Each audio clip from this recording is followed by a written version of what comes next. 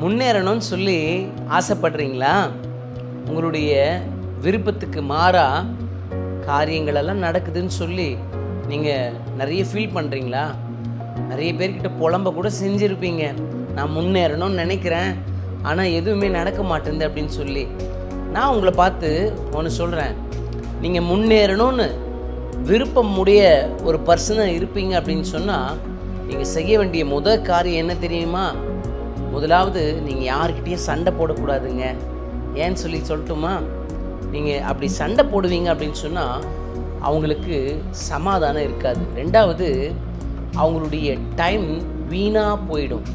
மூணாவது அவங்களுடைய உடல் அந்த ஸ்ட்ரெஸ்னால் ரொம்ப பாதிப்படையும். அப்போது இதுக்கு மாறாக அவங்க அடுத்த காரியம் செய்வதற்கு பிளான் பண்ணி அவங்க செய்வாங்க அப்படின்னு சொன்னால் முன்னேறிட்டு போயினே இருப்பாங்க. நான் உங்களை பார்த்து சொல்கிறேன் நீங்கள் முன்னேறணும்னு சொல்லி விருப்பம் இருக்குது. ஆனால் சுச்சுவேஷன் வரும்போது நான் கோவப்பட்டுடுறேன் நான் சண்டை போட்டுடுறேன் அப்படின்னு ஒரு பர்சனாக நீங்கள் இருப்பீங்க அப்படின்னு சொன்னால் கொஞ்சம் மாற்றி பாருங்கள் நான் இன்றைக்கி சொல்கிறேன் உங்களை பார்த்து நீங்கள் நிறைய ஃபெயிலியர்ஸை பார்க்கலாம். ஆனால் ஒரு சக்ஸஸ் உங்களுடைய வாழ்க்கையில் ஒரு பெரிய மாற்றத்தை கொடுத்துரும். நிச்சயமாக நீங்கள் முன்னேற்றத்தின் பாதையில் ஆண்டவரே உங்களை கொண்டு செல்வார். வேதத்தில் ஒரு வசனம் இருக்குதுங்க. என்னன்னு சொல்லி கேட்குறீங்களா யாருக்கு வேதனை யாருக்கு துக்கம் யாருக்கு சண்டைகள் யாருக்கு காரணம் இல்லாத காயங்கள் அப்படின்னு சொல்லி நிறைய இந்த ஞானி சாலமோன் ஞானி எழுதியிருக்கிறாரு இருபத்தி மூன்றாம் நீதிமொழிகளில்.